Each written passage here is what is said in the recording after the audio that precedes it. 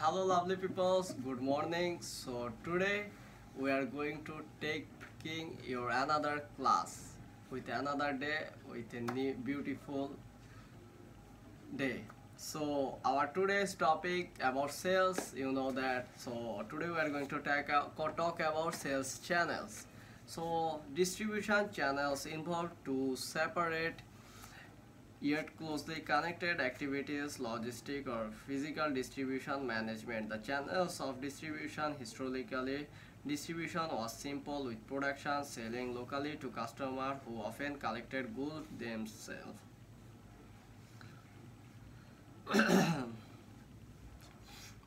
Distribution costs have risen relative to the production. However, as a result of automation and e-commerce, production cost as a percentage of total costs are now lower than they were. Each element is now considered.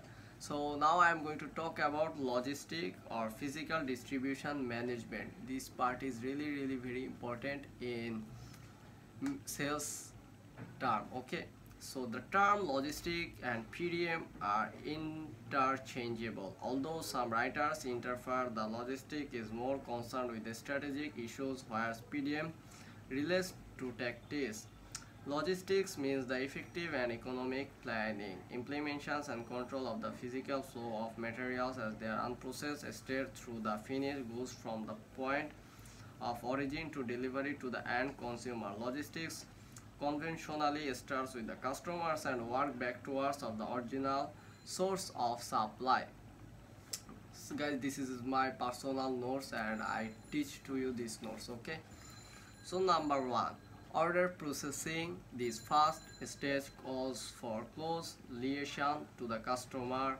Number two, materials handling. This is usually a function to the product terms in physical characteristics such as weight, bulk related to value, and precisely all which determine number three, warehousing. Warehousing is really very important because if anyone try to stock their product, they can stock in it warehouse so warehouse the location of depths and the warehouse relative the end customer is very important in some industries. Warehouse can carry buffer, buffer stock and help to even uh, of peak and stores in production. Again this pro process requires a balance between service levels and cost. Transportation the involves the physical delivery of customers and organization of materials from suppliers to be used in the production process. It is co course a critical factors in companies that operate a large manufacturing inventory control with the widespread adoption just a minute to large manufacturing this has become a critical issue. It is now customary to think the stock holding in terms the packaging is uh, packaging design for the container that is displayed on the shelf of the super circuit in normally marketing communication issue. But in terms of out containers and appropriate packaging for shipping via various models of transport this falls under the logistic mix classifications these are the philosophical standpoints in relations to logistics so these are the logistic physical distribution management system and this is actually how it really works so one consider it as systems concept where management regards logistics as a system interrelated components. The other views it is the total cost approach whereas management attempts to minimize the cost of using the components taken as a whole. As a whole. So now I am going to talk about channel distribution very shortly. Okay, I am not going to this video more lengthy. Management should constantly repress channels and distribution to make cost savings. Marketing channels are determined by company policy and this determines how to sales force should be organized.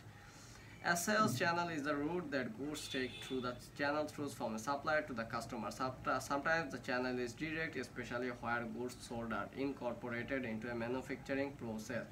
Final goods might then be sold through a different channel. A product example is fuel injection system that are sold to automobile manufacturers. Automobiles are then sold to car distributors and the car distributors are sell to the consumers. When we consider a product from a raw material stage to the end product, many different sales channels can be involved in different stages of manufacturing. Sales channel can be indirect whereby a manufacturer sells to wholesaler or agents who sells a smaller loss to other customer. This term is breaking bulk. So guys this is about sales channel stocks and channels of distribution. Hopefully you can understand this very these two topics very carefully. So see you another day with a new video with a new topic. Until that time see my every video. Thank you so much.